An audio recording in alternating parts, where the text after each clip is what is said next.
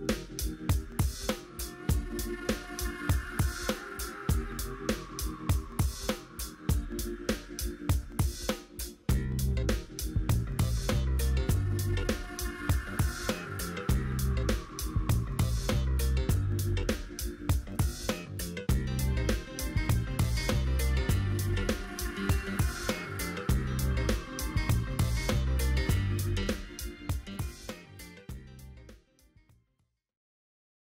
The title of this podcast is Housekeeping.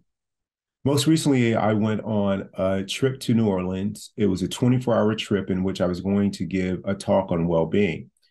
I got to the hotel, everything went fine. Uh, I was really centered. I told myself before uh, I went that I was not going to make a problem of anything. De- delayed flight, I was going to be completely present. I was going to be kind. I was going to lead with an open heart, and I was not going to make. I was not going to allow myself to be my mind to be bothered whatever happened. And there was a delayed flight on the return trip. I had no problem with it because of all the practice that I had before of when I used to be bothered by things that were completely out of my control. And then not only would I ruin the experience for me, but for everyone else. Uh, and there were other things that happened. One thing that happened was uh, the speaker before me uh, she went 30 minutes over her time. Not a problem. If that meant that my talk was short, that's fine too. Before, something like that would have bothered me. Not this time, because I've continued to work on myself. And hopefully, if something like that happens in the future, that I'll still be conscious enough not to let that bother me as well. After I gave my talk, I looked for a place to go change because checkout was at 11 my talk was at 11, so I couldn't go back to the room to change. And I didn't want to fly home if I had a choice in a suit and tie. I'd rather fly home in something a little bit more comfortable. And so I went to the hotel staff and asked if they had a ho- hospitality room or suite in which guests could change clothes. And they said no. So my other option was a bathroom. So I found a men's restroom. I went there to begin to change. And just as I was taking off my jacket, my shirt, and I was just uh, just taking off my trousers. Uh, someone from housekeeping knocked on the door and said, "Anyone in there?" And I said, "Yes, I'm here. I'm just changing." Why are you changing clothes in the bathroom? I politely said, "I'm changing clothes because there's nowhere else for me to change. There's no hospitality suite." So she said, "Well, I'm trying to change the bathroom. Uh, uh, I'm trying to clean the bathroom." I said, "Okay, I'll be out shortly. Thank you so much." And about a minute or two later, she's like, Are you done yet? I said, No, I'm not done yet, but I'm working on, on getting done here pretty soon. And I'll be out as soon as I can. I'm trying to fold my clothes. I mean, there's water all over the sink where I've got my suitcase on top of it. I'm wiping that down, trying not to get my white shirt or this suit wet or fall on the floor. And and and then one of her colleagues outside the door comes up, and the colleague also housekeeping, says, "Are you are you finished with the bathroom?" Like, no, this guy's in there trying to change his clothes right now, I'm trying to clean the bathroom, and I'm standing like the door and the wall were paper thin, so I could hear the whole conversation. And I'm like, "I'm sorry, I'm sorry, I'll be right out."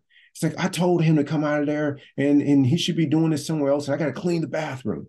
And and so after about another minute, they just opened the door and they just started cleaning around me. and I barely got on some comfortable pants. I'm still just in a t-shirt. I haven't even put on the shirt that I want to wear, and I'm in my socks. So I just pick up all my luggage and the suit and take it out, find a little uh, table right outside the bathroom, and I start to fold up my clothes. And and I uh, again apologize for inconveniencing them as they clean up. They didn't say much. They just kept right on, you know, doing what they were doing. So I want to give them a tip, uh, not because of, of how they communicated, but because they had an idea about how their day was going to go. And I inconvenienced or interrupted that idea or their expectation. So I wanted to give them a tip like I would for anyone for the inconvenience or for an act of kindness. It may not look like an act of kindness, certainly not to my personal mind, but to my conscious self uh, they they still allowed me to clean the bath. I mean, to change while they were waiting to clean the bathroom, but I couldn't find my wallet. So when they came out and they were moving on to the next station, I asked them, "Hey, listen, uh, I can't find my wallet. Uh, do you mind if I check the trash?" And they said, I'm happy to put my own hands in there and check it. You know, I don't want you guys to have to do that. And they start pulling out gloves and they start to do it. And they were like, oh my God, you lost your wallet. So I said, they didn't see it in the trash. So I came back and I said, listen, uh, if for some reason um, uh, I find my wallet, I want to come back and tip you. It's like, no, you don't have to do that. So I went back to my uh, things and I went through my Mayo Clinic backpack, which is one of these backpack for like survivalists or for wilderness uh, uh, adventurers, which has 50 pockets in it. And I, I put it somewhere so I wouldn't lose it. So I discovered my wallet and I tracked down the ladies and I gave them 20 bucks each, which is nothing. It's a small like gratuity for the inconvenience. And they were so happy to get it as if I gave them a thousand dollars each. The reason I'm telling this is, is that at any point, I could have been bothered by this. Now, Keith 1.0 wouldn't have said anything back to them. I wouldn't have done that, but I certainly would have gone to the hotel management and told them about how their staff was treating kind, treating uh, customers and guests. But I thought to myself, well, I didn't even think to, think to go do that. And the reason that I wouldn't have done that as Keith 2.0, who was committed to his practice, is because it wouldn't have served the moment. I would have had my stuff get hit because I'd been like, how dare hotel staff to talk to me this way? And then I would have probably went and go bar the management and, and, and impacted their day. Now I'm hitting their stuff. And then housekeeping would have, you know, probably been impacted. Hopefully, what happened was that they noticed the way that I showed up, and that every guest who interacted with them from that point forward probably got a kinder person. Maybe, maybe not. Uh, I have no control over that and have no way of knowing it. What I do have control over is how I responded in the situation. I had an opportunity to either get do the dance with them or an opportunity to serve and lift the moment.